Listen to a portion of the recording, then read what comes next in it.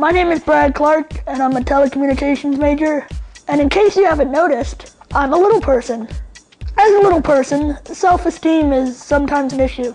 Some of the challenges I face as a little person are everything being above my height, um, inability to reach light switches, inability to be able to open doors easily.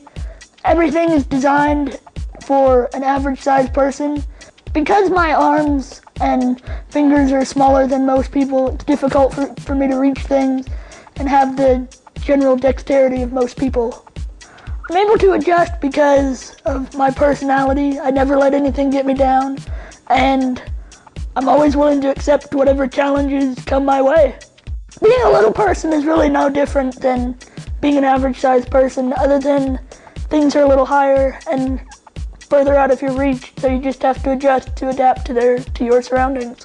While self-esteem is sometimes an issue with being a little person and sometimes it's difficult to be happy, I still find comfort in being who I am and having the personality that I have today.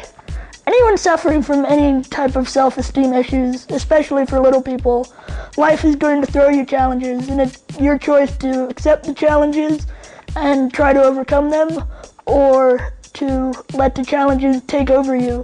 And I feel that you should rise to every challenge and be the best that you can possibly be. And that goes for average sized people too.